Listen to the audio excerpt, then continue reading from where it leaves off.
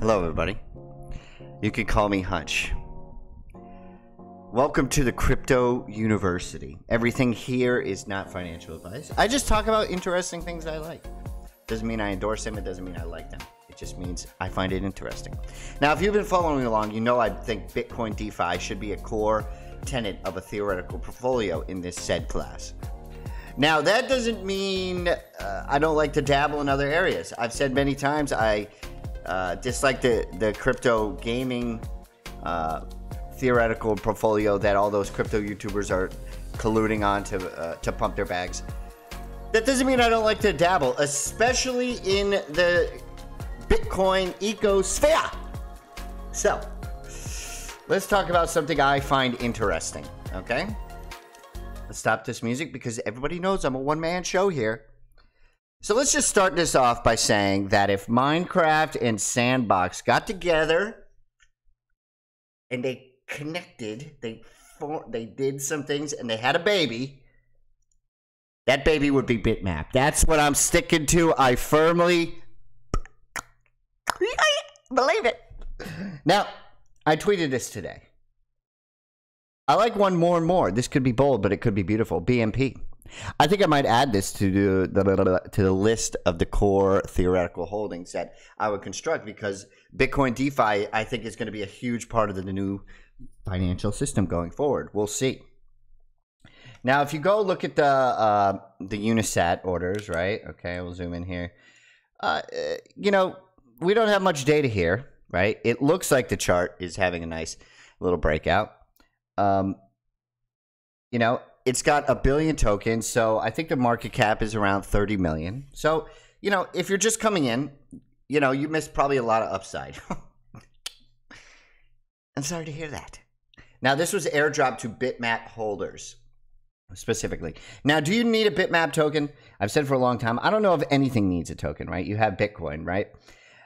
But it seems like some projects want to use it, specifically uh, Bit Earth, right? Which I think is like overlaying bitmaps, sorry, over the over real cities. You know, I don't know too much about it, but it seems like a lot of projects, even eh, Fortnite did this. Some guy in Fortnite. There's also a game called Evolve that I've talked about, ticker symbol EVLV.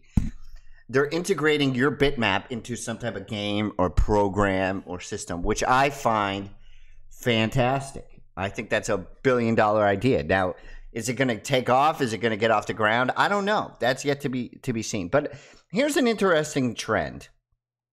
The bitmaps, these these NFT collections, the market cap is at, is currently at 182 million. Bored Ape Yacht Club, Bored Ape Yacht Club, which I think is the biggest NFT collection, right? Oh, on Ethereum, certainly, but uh, in the world, right, is at 617 billion. I think we're going to catch that. I, I really think we're going to catch that. Now, what's interesting to me about this token is it, Sand, right, which is this game, which has NFTs in it or whatever, right? You have your characters, your swords, your boats, whatever. You can own it all. Um, this is worth 1.2 billion, but the top of Sand up here, it was at like eight dollars, and now it's at what is it, 59 cents. So assuming that the token, uh, the tokenomics stayed the same, that's eight times that was it, eight to ten billion, and it, I think Bitmaps is bigger than this, right? So I'm not saying BMP can do that. I certainly don't want to advise you on anything financially.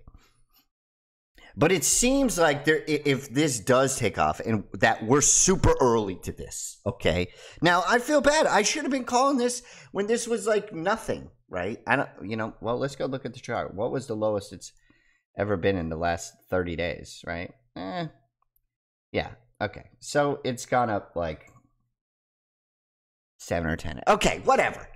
So you missed the whole beginning of it. That doesn't mean it can't go down all the way to zero or all the way up to 10 billion. Who knows?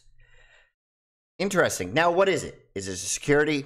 Is it a, is it a, a, a currency? Is it a commodity. It can be everything, right? And this is why Congress has to get together and write these laws. This is why this is not financial advice as well, because the we're not sure. Congress has not written, written the law if this is a security or not. Uh, they've had court cases with XRP that they've partially lost, with the the Bitcoin ETF now that they've lost. So they're all up in in this place, and, and as soon as they write clear laws, I'll I'll make a video about that and tell you guys that. Um, so I think there's potentially a lot of upside. You know, can I tell you too much more about it? No. Okay, I'm not a developer. I don't know that much. But I think this is an interesting trend and you should be paying attention. And the more I think about it and the more I like it, right? I don't just like say the first thing that comes to my mind like a lot of you frontal cortex lacking individuals, okay? That you're like Phineas Gage. A pole went through your head, you survived and you're not the same person. You you can't control your emotions. I understand that. I know who I'm talking to.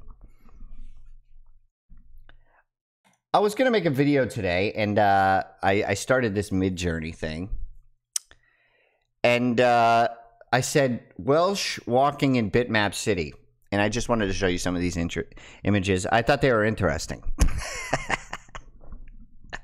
I think they're funny. I like this one. This one is going to go on uh, the cover of this video. Okay. Along with a bitmap or whatever. Okay. It's cool. I like it. Excuse me.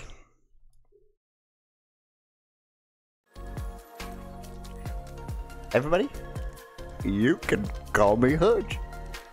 I love you. That financial advice, purely crypto education.